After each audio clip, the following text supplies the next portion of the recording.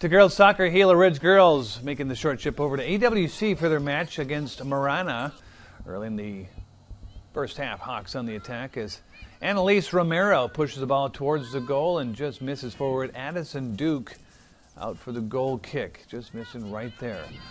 Marana, uh, yeah, they're going to be on the attack as they get the friendly bounce over the Hawks defender, but goalkeeper Dakota House is Dakota on the spot. Great dive, great save, blocking a golden open opportunity for the Tigers.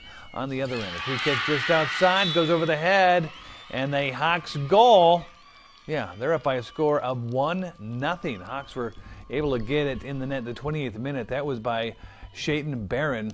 Uh, Marana would equalize in the second half. This one would go into overtime, actually penalty kicks. It would be Gila Ridge winning by a score of 4 to 1. They survived the play in. To playoff girls.